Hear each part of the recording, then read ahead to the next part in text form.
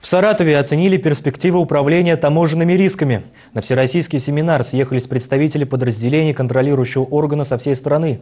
Система управления рисками представляет собой анализ ситуации и выявление тех объектов, которые потенциально могут нарушить таможенное законодательство. Их проверяют, а вот тем предпринимателям, которые зарекомендовали себя с хорошей стороны, дают поблажки.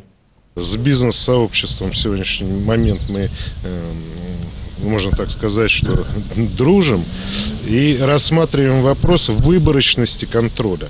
Вот как раз нам система управления рисков помогает сократить количество, но не сократить самой эффективности контроля. Концепцию управления рисками начали разрабатывать 10 лет назад. Сегодня действует уже обновленная система. Новшество касается, к примеру, упрощенных форм контроля, когда для принятия решения используют не только сведения о товарах, но и анализ того, как конкретная фирма ведет свою внешнеэкономическую деятельность. Отличий от первого варианта концепции управления рисками не так много, признаются специалисты.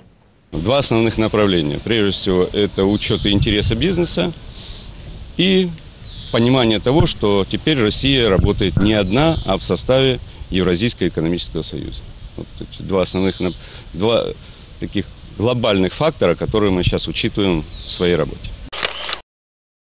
Сегодня в категорию предприятий, которым таможенники доверяют, попали свыше двух тысяч компаний. В основном это крупные холдинги, которым просто невыгодно применять какие-либо махинации. В отношении таких предприятий установлен минимальный контроль.